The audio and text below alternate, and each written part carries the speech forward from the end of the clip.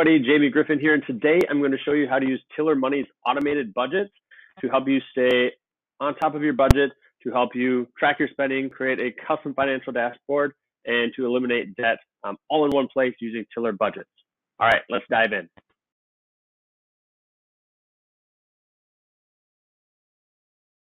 Okay, if you're new to Tiller Money and their automatic budgets, um, I have to tell you, I am a super fan of this company and what they can do to help you stay on top of your finances, track your spending, um, make a budget, and start getting rid of your debt. And the cool thing is, it does a lot of the work for you. And so, if you are hesitant to budget, you've been unsuccessful budgeting in the past, Tiller Money really can help you out a ton. Um, as you can see here, this is their homepage, and it's your final life in a spreadsheet, automatically updated every single day. It does it for you because it connects to your bank account. All you have to do in is go in and categorize some things, which I'm going to show you how to do today. And I'm going to show you some of their newest features to make it more user friendly, to add multiple different tools into one spreadsheet, like a debt, uh, a debt snowball log, a, a monthly budget, yearly budget, and then overall insights and transactions. So if you're looking at Tiller's homepage, and I will have a link to this down in the description, I am an affiliate partner for them. So if you sign up with Tiller using my link, I will get a little bit of a commission, um, no extra cost to you. Um, but I love Tiller and I've got it set up um, I'll show you in a little bit our own family Tiller budget here too. So if you're already logged in, you already have an account, you can hit log in or you can hit try Tiller for free. You do get uh, a free month trial for this, um, absolutely free, and you can cancel after that if you don't like it. So the steps to get into this are the same. So I'm just gonna hit log in because I already have one. If you were to hit try Tiller for free, it'll take you to the same page because you can sign in with your Google account. And I believe this is the one I have signed in. All right, and so this is gonna take you to your Tiller dashboard. Welcome, Mr. Jamie Griffin. And this is where you can actually start doing some things. The first thing you're going to want to do is to get signed up um, with or link with your bank account. And that is you're going to do here, you're going to view your connected accounts and get that started. I'm not going to show you how to do that today.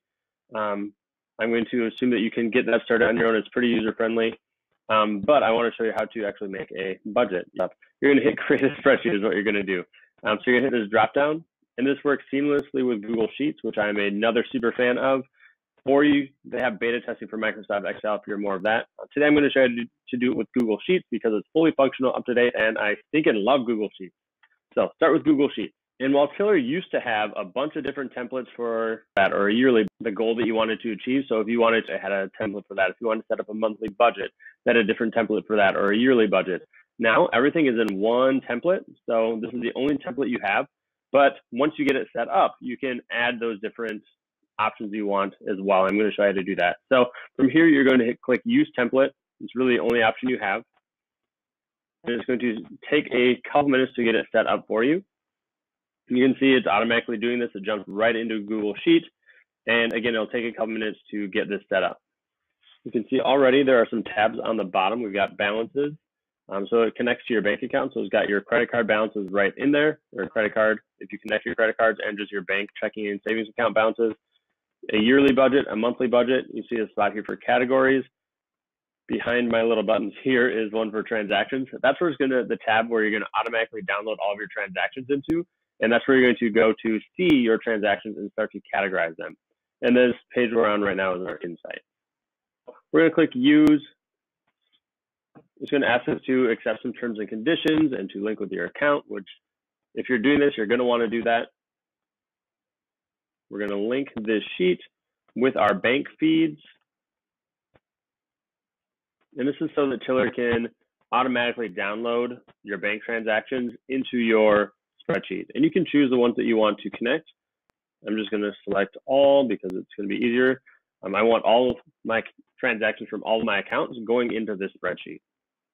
All right, so now it's loading my balances and my transactions, which might take a couple minutes because it backtracks for a few months.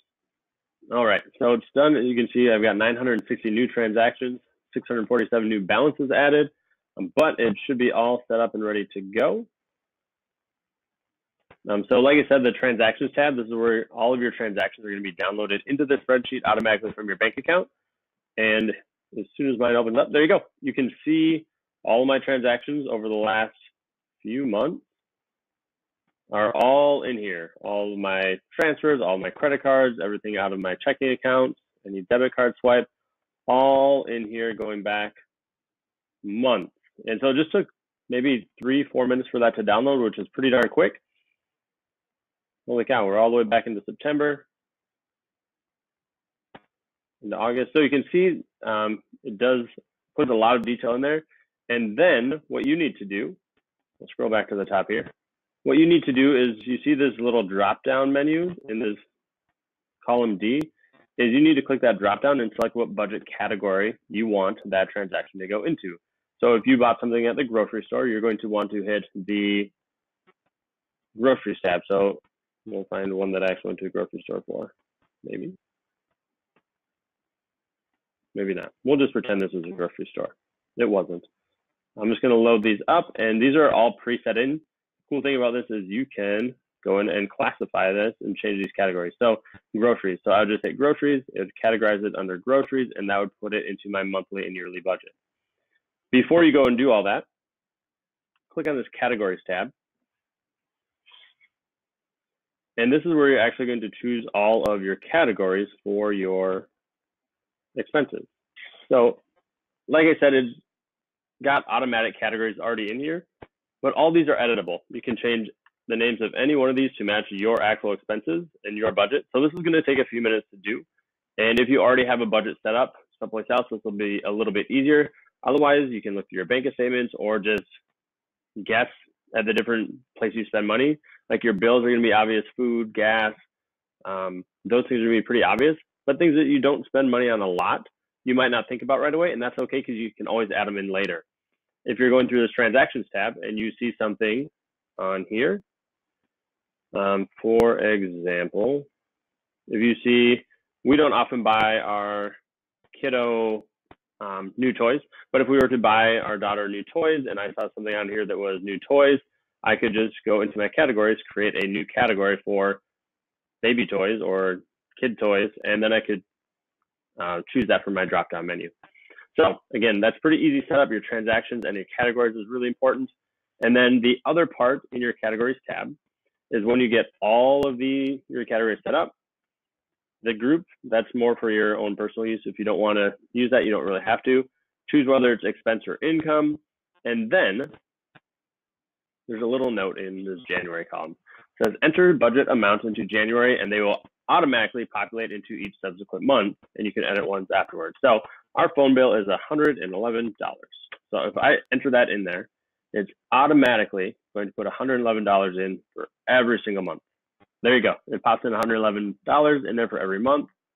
Um, so it's going to do that. And so if there's a month for utilities, if this is $50 a month, but I know that in the summer I don't get don't spend as much on utilities, I know it's going to be a lower amount. You can change that.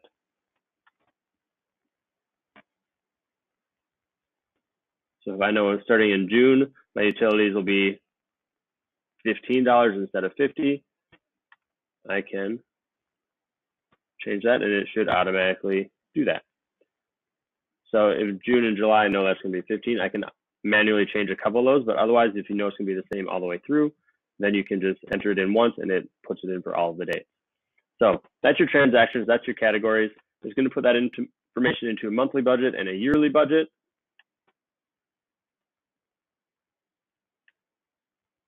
Which you can see here. Um, and it only puts things in that I categorize. So on this transactions tab, if I don't choose a category for it, it's not going to show up here. Um, and this is going to be really skewed because I only have a couple things in there like I entered the phone in there and utilities. So that's the only thing that's categorized.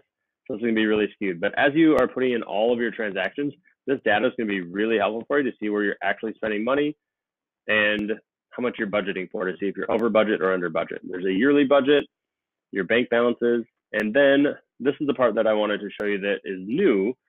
If you go and click on add-ons, and all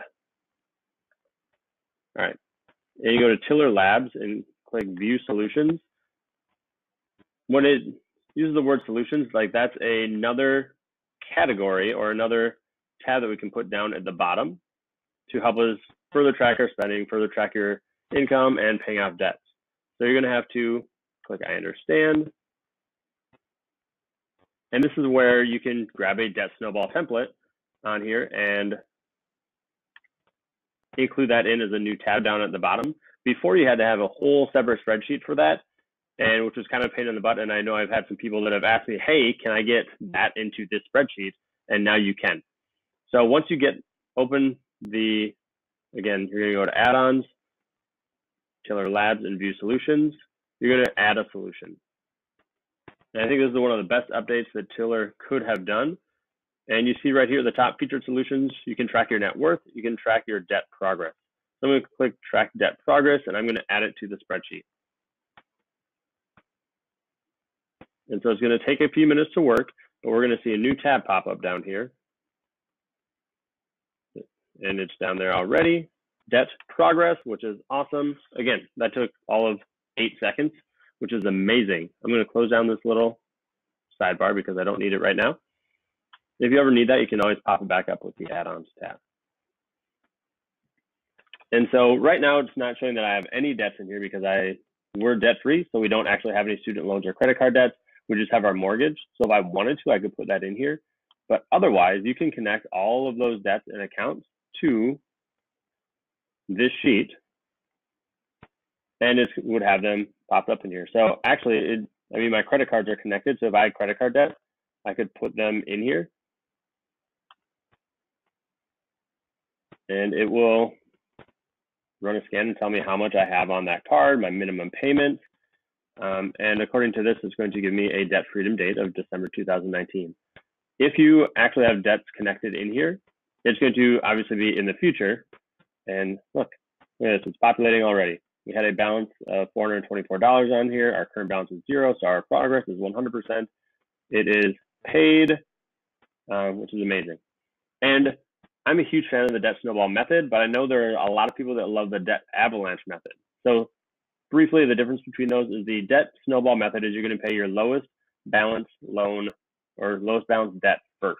So you see small balance first is a snowball. If you want to do it in a different way and do the debt avalanche, which is you're paying your highest interest rate first, you can choose that. And it will give you a different um, payoff order and it will give you a new debt freedom date um, if it be different. You can also rank your debt. So there's a spot here for rank. So if I wanted to rank them one and two, that would tell Tiller that I want to pay off credit card one first and credit card two second. And from my drop down menu up here, I can choose the lowest ranked first. So it will start paying off number one first and then go to number two.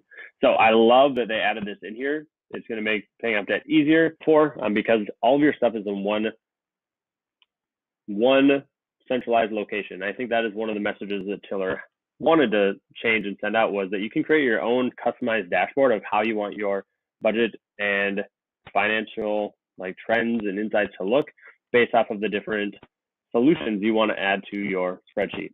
So those are the main updates and the main uses of Tiller. Again, um, I hope this walked you through how to use Tiller money, their automated budgets, and to help you track your spending, to track your debt, and to help really get a hold on your finances um, to make some good progress. So that is, I think, all I've got in this video for you. If you have any questions um, or comments, send them down, leave a comment down there. And if you found this video at all helpful, remember to hit that subscribe button, hit that little bell too, so that you get notified every time I post a new video. I love Tiller, so I plan on making more videos about Tiller money and Tiller automated budgets and some ins and outs of it. So if you are a huge fan of Tiller or just getting started with it, follow some of my other videos. Um, I'll leave links for them here as well. I've got a few other videos on Tiller and how to get it set up and categorize your transactions and all those details that I kind of glanced over today. Other ones go into more detail. So remember, hit subscribe, leave a comment, and check out some of those links that I have down in the description to get some more additional resources. Uh, thanks for watching and have a great day.